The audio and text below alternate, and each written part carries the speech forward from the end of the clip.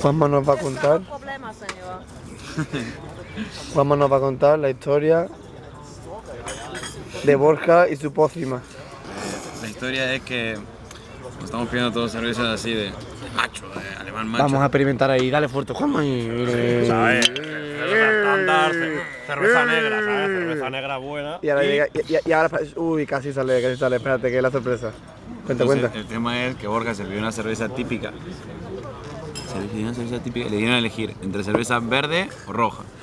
Y pidió una verde, que era típica. Vamos a contar la verdad. El chaval quería una normal y nosotros, no, venga, experimenta. tómate una verde, tómate Tienes que una hacer cosas nuevas, Borja. No, no, Claro, no. nunca Que se deja de sabe. enfocar para abajo que la, que la cámara. Que te está viendo la cara, gilipollas. Así, aquí también. Ay, hombre, ahí no.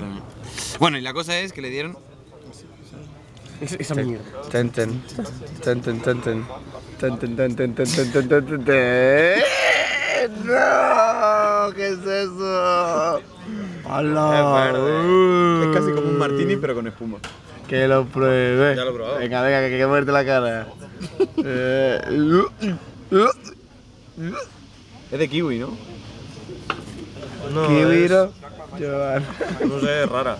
A ver, cu- cu- cuéntanos qué se siente. Es como una pastilla de LSD, Sabe a verde. Es como, es como pastilla, ¿no? Sabe a verde. Sí. La nuestra tiene un gustito rarísimo, ¿eh?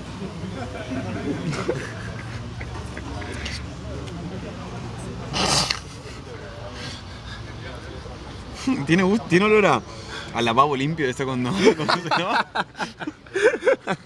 De hecho, el secreto verde es pato VC. No sé, es raro, tío, es muy No, raro. pero me. Me resulta un montón de súper familiar, tío.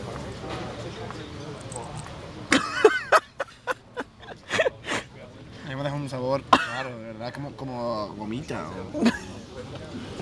Ah, la, la, las gominolas esas, tío. sí. Las gominolas.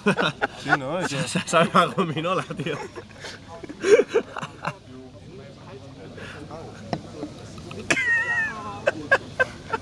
¿Algo que decir? No, no, no, estoy flipando, tío.